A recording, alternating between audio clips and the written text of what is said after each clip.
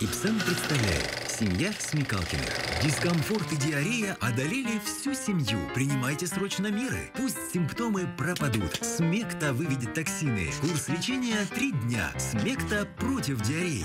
Будь здорова вся семья. Диарея, изжога, вздутие. Со Смектой об этом забудьте.